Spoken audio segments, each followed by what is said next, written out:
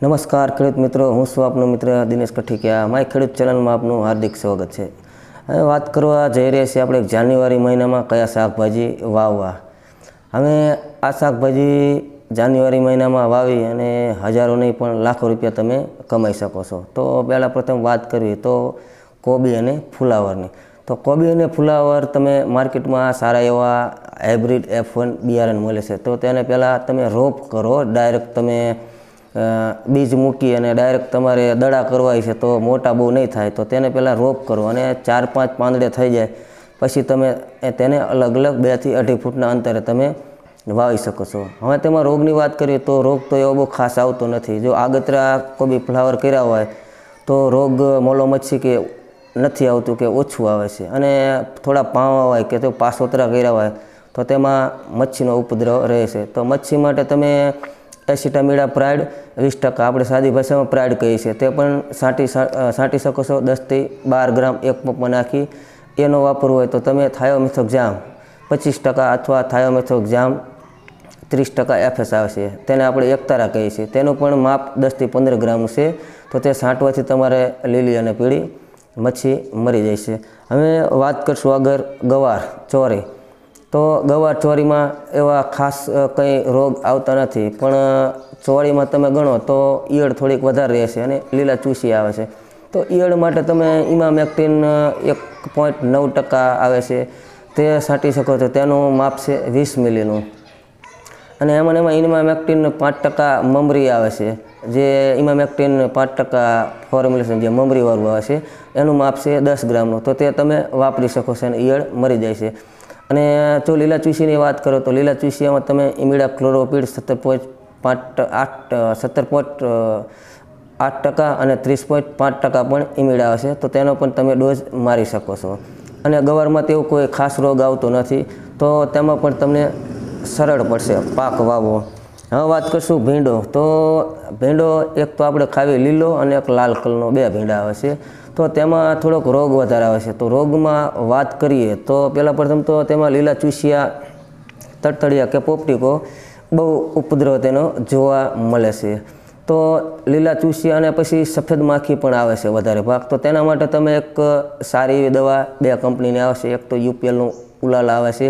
તો ઉલાલા તમે વાપરી શકો છો. તેનું લીલા ચૂસિયા તો છથી સાત ગ્રામનું માપ છે. અને સાથે કદાચ સફેદ માખી હોય.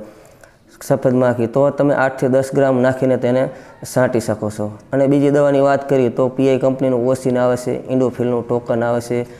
આ બધી દવા પણ સારી છે. તો આનું માપ તમારે ઉલાલા ટાઈપનું જ છે કે જે આઠથી દસ ગ્રામ તમે વાપરી શકો છો.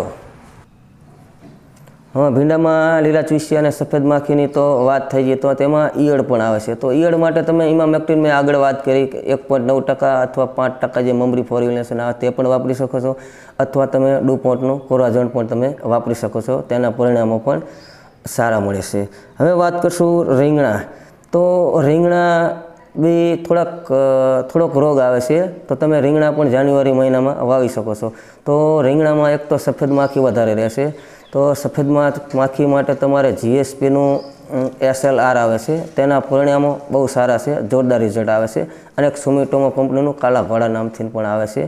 તે પણ તમે વાપરી શકો. અથવા તેનો વાપરવો હોય તો ડાયફ્રેન થિયોરન પચાસ ટકા ડબલ્યુપી ફોર્મ્યુલેશનમાં આવે છે પણ અત્યારે ડાયફ્રોન થિયોરન જે ડબલ્યુ પચાસ ટકા જે આવે છે એના રિઝલ્ટ એટલા બધા સારા બહુ મળતા નથી. તો તમે જીએસપીનું સ્લેર પ્રો સોરી સ્લેર પ્રો જીએસપીનું એસએલઆર તમે વાપરી શકો છો. અને સાથે તમારે રીંગણીમાં ડોકા મળનો પ્રોબ્લેમ રહેશે કે જે ઉપરથી છોડ આમ કરી આમ ડોકું મળી જાય છે. તો તેમાં ઈયળ હોય છે. તો તેમાં બીજું કોઈ દવા તમે વાપરવાનો બને તો આગ્રહ ન રાખતા. એમાં તમારે ડુપોન્ટનું કોરાજન બધા કરતાં સૌથી બેસ્ટ રહેશે. તેમાં સારા રિઝલ્ટ મળે છે. હવે વાત કરશું ટમેટીની. તો ટમેટીમાં તો બહુ એટલું બધું નથી આવતું, પણ ટમેટીમાં એક ઈયળ ક્યારેક ડંખ મારેલા ટમેટા દેખાય છે અને ફૂગના રોગો થોડાક વધારે આવે છે. તો ફૂગના રોગ, રોગો માટે તમે તેમાં બાયરનો એન્ટ્રાકોલ છે અથવા ટાટાનું તાકાત છે અથવા યુપીએલનું સાપ છે, આ બધી ફૂગનાશક સારી આવે છે સીઓનું બાવીસ આવે છે, બીએસએફનું, પછી બ્લુ કોપર પણ આવે છે, આ બધી ફૂગનાશક તમે સ્પ્રે કરજો અને ઈયળ માટે ઇમામેક્ટિન છે, લિક્વિડ અને પ્રવાહી લિક્વિડ અને ગ્રેન્યુલ જે મમરી આવશે તે પણ તમે વાપરી શકો છો. હવે વાત કરીએ તો બીટ, ગાજર, મૂળા. તો આ પાકમાં તો રોગ આવતા જ નથી. એમ કહેવું તો કહેવાય. લગભગ મને ન સાંભળતું કે આમાં કોઈ એવા રોગ આવ્યા તો આના માટે તમારે ખેતી કરવા માટે પહેલાં પ્રથમ તો તમારે તમારી જમીનને ઊંડી હરી નાખવું. હરી નાખવું એટલે પછી રોટાવેટર મારી જમીન કમ્પ્લીટ કરો. એટલે ટૂંક મારું કહેવાનું એવું થાય કે તમે આમાં પા વધારે રાખો. જેટલી પા વધારે થશે, એટલા આ પાક સારા થાય છે. તમે હકા જમીનમાં પા જમીન વાવશો તો આમાં આ કંદમૂળની એક જાત છે કે આને જમીનમાં વધવાનું હોય છે. એટલે આમાં જમીન જેટલી પહોંચી છે, એટલું તમારું બીટ, ગાજર છે કે મૂળા છે તે સારા થાય છે. આમાં કોઈ એવો દવા કે એવો કોઈ રોગ આવતો નથી. તો આના માટે તમારે આ એક કરવાનું રહેશે. હવે વાત કરીએ તો મેથી પાલક. તો મેથી પાલકમાં એવો કોઈ રોગ આવતો નથી. પાલકમાં મેં તો નથી ભાઈરો રોગ આવતા. તો મેથીમાં કદાચ આગળ જતાં ક્યારેક બહુ ખેડૂતોએ પાણી પા પા કર્યું હોય ને, હાડ વધારે થઈ ગયું હોય કદાચ, તો તેને સિંઘુલાવા માટે તમે એમિનો એસિડ પ્લસ વિટામિનવાળી જે કે યુપી સોરી, ધર્મત ક્રોપ ગાર્ડનું રુજુતા આવે છે રુજુતા તમે પંદર એમએલના ડોઝ પ્રમાણે તમે છાંટી શકો છો, તો તેમાં સારા એવો રિઝલ્ટ આવશે. અને મેથી તો તમે કદાચ થઈ ગયો તો તમે તેને પકાવવાની પણ જરૂર ન પડે, લીલે લીલે તમે માર્કેટમાં આપી દેશો તો લીલે લીલું પડતાનું વેચાણ થઈ જાય છે. હવે વાત કરશું અરબી. અરબી એટલે અળવીના પાન આપણે જે તેને લોટ ચોપડીને જે આપણે ખાઈએ છીએ તે અળવીના પાન તો તેના માટે પણ એવું જ છે કે તેમાં પણ તમારે થોડીક પા વધારે જોઈએ. જેટલી પા વધારે છે તેટલું તે અંદર મૂળ મૂકશે. તેને એ ગાંઠું આવે આવે એ ગાંઠું માર્કેટમાં મળે છે. એ ગાંઠું તમે અંદર અઢીથી ત્રણ ફૂટ સેટું રાખીને અને સત્યાવીસની ગાડીએ તમે તેને વાવી શકો છો. એમાં કોઈ દવાનો ખર્ચ કે કોઈ એવું રોગ આવતો નથી. ઈયળ ક્યારેક પાંદડા ખાવા કદાચ આવે તો ઈયળ માટે તમે દવા વાપરી શકો છો કે નાખી શકો છો. હવે વાત કરશું મધુરી, સાકટેટી અને તરબૂચની. આ છે વેલાવાળા પાક. તો આને તમે શરૂઆતમાં ઉગે કે જ્યારે ફળ આવવાની શરૂઆત ન થઈ હોય, તે પહેલાં જો તાપ વધારે તડકો ને એવું પડતું હોય કદાચ તો તેમાં થીપ્સ આવે છે. તો થીપ્સ માટે તમે તેમાં બે પોઈન્ટ બાણું ટકા ફિપ્રોનિલ આવે છે. તે પણ વાપરી શકો છો. અથવા બાયોનું રિઝલ્ટ આવે છે પાંચ ફિપ્રોનિલ પાંચ ટકા, તે પણ તમે વાપરી શકો છો અથવા તેનો વાપરવું હોય તો આસ્થા કેમિકલનું ઝપક આવે છે. તે પણ તમે વાપરી શકો છો. આના પરિણામો બહુ સારા આવે છે. હવે આને વાત કરીએ તો આમાં પણ ઈયળ ડંખ મારે છે. ઈયળું દેખાય છે. તો ઈયળ માટે તમે દવા ઇમામેક્ટિન છે એ તે વાપરી શકો છો, કોરાજન વાપરી શકો છો, અથવા જો નોર્મલ ઈયળ હોય, ઓછી હોય, તો તમે તેમાં પ્રોફેનો સાયફર પણ મારી શકો છો, અથવા સાયફર મેથ્રેન પચીસ ટકા આવે છે તે પણ તમે તેમાં વાપરી શકો છો. હવે વાત કરશું ગલકા અને કારેલાની. તો આ પણ વેલાવાળા પાક છે. તો આને તમે જે આગળ મેં વાત કરી કે જે મધુરી, સાંકટી સાંકટેટી તરબૂચ, તેને તમે કદાચ તાર ઉપરનો લટકાડો તો ચાલે, તેને તો લટકાડો તો ફળ મોટા આવે, એટલે તાર તેનું વજન પણ ન ઝીલી શકે. તો તમે ગલકા અને કારેલા તમે જેટલા તાર ઉપર ફેન્સિંગ ઉપર લટકાડીને રાખશો તમારા વહેલા એટલું તેનું ઉત્પાદન સારું મળશે. અને જેટલું તમારું ફળ લબડતું રહેશે, તેટલું વધવાની સ્પીડથી વધશે. અને ઉત્પાદન પણ તમને સારું એ મળી રહેશે. તો મારો આગ્રહ છે કે તમે ગલકા અને કારેલા તમે તાર બાંધીને તમે ઉપર તમે લટકાડો. અને જેથી કરીને કે હેઠે તમારા જમીનમાં પડે તાપથી ડાઘ પડે છે અને બીજા કોઈ રોગ એને ન લાગે, તો તમે તેને તાર ઉપર વાવો. હવે વાત કરશું ખીરા કાંકણીની.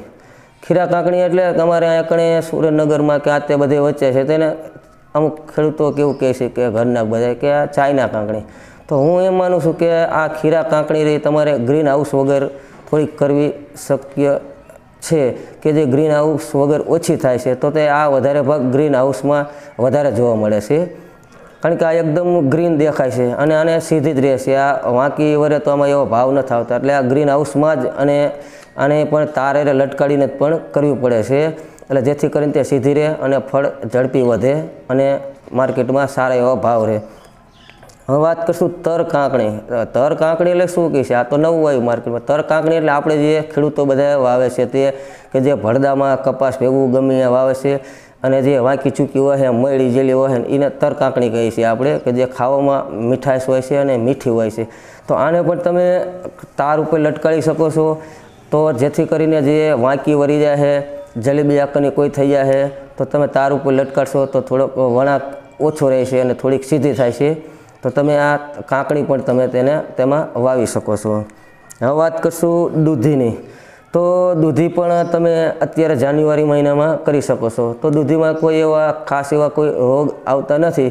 તો દૂધી પણ તમે તેને વાવી શકો છો. દૂધી પણ તમે જો તારમાં કરશો લટકાડીને કરશો તો વધારે સારું જમીન કરતાં. અને આ વેલાવાળા પાક તમે કીધા, ખાસ કરીને જો તાર ઉપર લટકાડવાની સગવડો તમારી પાસે ન હોય તો ખાસ કરીને મર્ચિંગમાં કરો. મર્ચિંગ એટલે પ્લાસ્ટિક પાથરીને કરો. એટલે જેથી કરીને જમીનમાં તાપ જે લાગે છે અને ફળના હેઠે આકાર બદલી જાય છે, ડાઘા પડે, ડાઘા ન પડે અને માર્કેટમાં તમને ભાવ મળી રહે.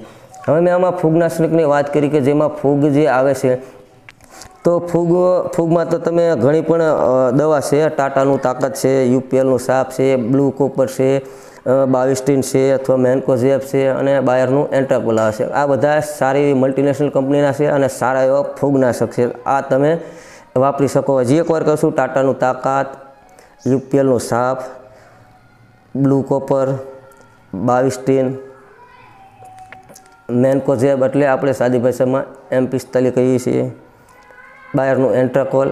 આ ફૂગનાશક સારા છે, આ તમે વાપરી શકો છો. આ બધા એક સાથે નથી વાપરવાના. સાફ કદાચ તમે જો વાપરો, બે આમાં બે ફૂગનાશક જો ભેગા વાપરશો તો બહુ સારા એવા પરિણામ મળશે. તો તમે સાફ વાપરો, તો તેમાં મેન્કોઝેબ અને બાવિસ્ટીન લેવાની જરૂર નથી. તમે બીજું ગમે એ ફૂગનાશક લેશો. કારણ કે સાફમાં કાર્બોડિઝમ મેન્કોઝેબ આવે છે અને બાવિસ્ટીનની મેં વાત કરી, તેમાં કાર્બોડિઝમ આવે છે અને મેન્કોઝેબમાં મેન્કોઝેબ આવે છે. તો આ બે કોમ્બિનેશન હરખું હરખું ભેગું ન થાય, એટલે તમે અલગ અલગ રાખજો.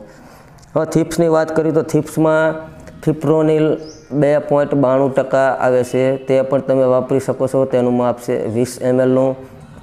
બાયરનું ફિપ્રોનિલ આવે છે પાંચ ટકા એસજી ફોર્મ્યુલેશન તે પણ તમે તેમાં વાપરી શકો છો.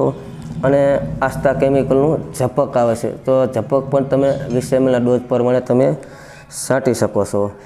તો આ બધી વાત તો પૂરી થઈ પણ જે ખેડૂત મિત્રોએ મારી ચેનલને સબસ્ક્રાઈબ લાઇક અને શેર ન કરી હોય એ અવશ્ય કરો એટલે જેથી કરીને મારા વીડિયો બધા ખેડૂતોને આસાનીથી મળી રહે અને જો આ જે તમને પાક વિશેની માહિતી આપું છું, એ તમને બધી માહિતી આસાનીથી મળી રહે અને દવા તમારે જે છાંટવી એ તમને મળી રહે. હું આગળ નહીં લઈ જતા વીડિયો અહીંયા આપણે સમાપ્ત કરશું. Thank you